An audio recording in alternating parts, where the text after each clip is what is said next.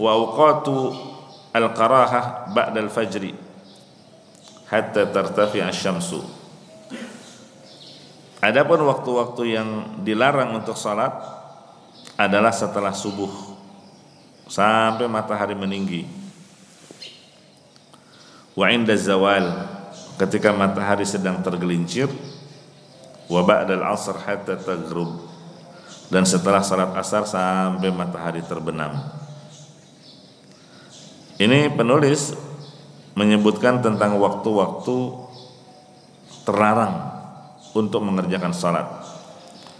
Salat apa yang dimaksud? Salat sunnah mutlak. Iya, salat sunnah mutlak. Karena salat sunnah itu ada dua, ada yang muqayyad, ada yang mutlak. Apa bedanya? Kalau muqayyad salat sunnah yang terikat dengan sebab. Misalnya sebab masuk masjid, maka ada salat sunnah namanya apa? Tahiyatul masjid. Kemudian ada sebab karena habis berwudu, maka ada salat sunnah wudu. Ada sebab jenazah yang harus disegerakan untuk dikuburkan. Kan pengurusan jenazah itu afdolnya apa? Disegerakan. Nah, ini meninggal setelah asar langsung dimandikan, dikafankan dan disolatkan. Iya. Jangan beralasan oh ini waktu terlarang salat. Nggak boleh kita mengerjakan apa mensolatkan jenazah di waktu ini. Nah ini karena tidak memahami perincian tadi. Iya, sehingga ada sebagian orang ketika ada pelaksanaan salat jenazah, tapi kalau ba'dal asar nggak mau ikut dia. Alasannya apa?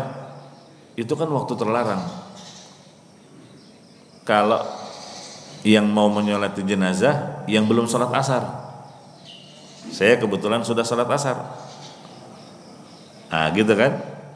Nah ini fikih dibuat sendiri sama dia. Padahal tidak masalah. Iya. Itu yang dilarang adalah salat sunnah mutlak. Apa itu salat sunnah mutlak? Salat sunnah yang tidak dibatasi waktunya, tempatnya. Jadi mau kapan pun, mau di mana pun mau berapapun jumlah rokaatnya yang penting dua rokaat salam dua rokaat salam dua rokaat salam. Nah, itu salat sunnah mutlak. Kita ingin memperbanyak ibadah salat. Karena kata Nabi saw ketika ada salah seorang sahabat yang Nabi berterima kasih kepadanya setelah dia berkhidmat melayani Rasulullah SAW lalu Nabi berkata mintalah sesuatu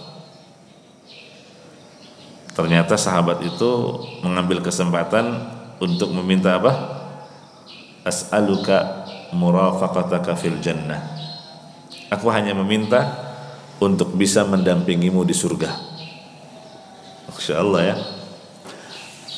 Atau ada yang lain selain itu? Tidak, itu saja cukup. Apa kata Nabi Sallallahu Alaihi? Kalau begitu, fa'inni, bantulah aku untuk mewujudkan keinginanmu itu? Apa? Bikasratis sujud. Dengan memperbanyak sujud. Apa yang dimaksud memperbanyak sujud? Memperbanyak salat sunnah. Bukan seperti yang sebagian orang memahaminya. Memperbanyak sujud setiap baca selesai baca Quran.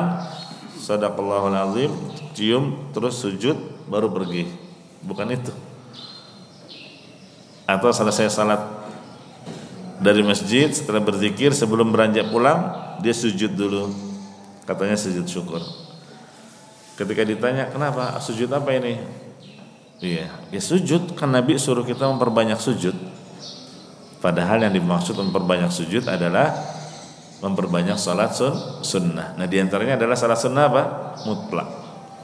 Begitu ya?